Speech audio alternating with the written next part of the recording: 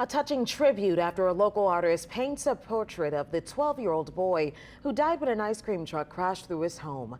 Good evening and thanks for joining us. I'm Charisse Gibson. And I'm Katie Moore. In the piece, he's dressed as a superhero, and Erica Ferrando spoke with the artist today. She's joining us now in the studio with this touching story. So sad, Erica. It is, and Javier Adrian Flores Fajardo, he's now a hero to several families through organ donation. His family made that tough decision after learning he was brain dead, and this story touched strangers in the community, including a local artist who hopes his gift to the family will bring a little light during the dark days they're facing. Artist Rodney King picked up his paintbrush after seeing young Javier Adrian Flores Fajardo's story.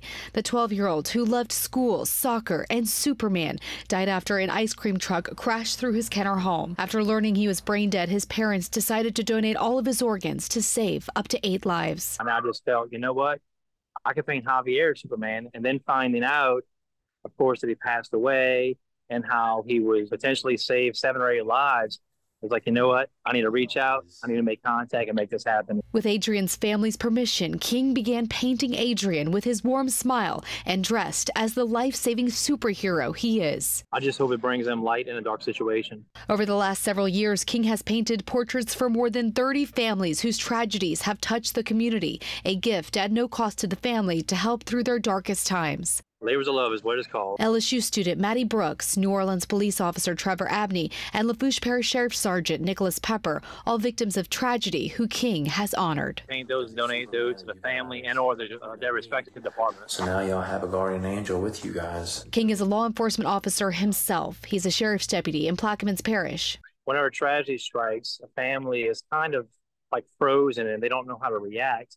And I feel that artwork is a, a bright it brings like a, a bright spark into a dark situation.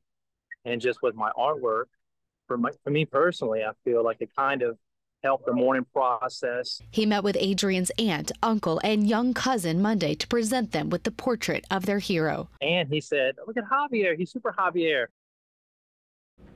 Adrian's family says his funeral will be held this Saturday at Verbo Church in Kenner. Our heart is with them. Thank you, Erica. The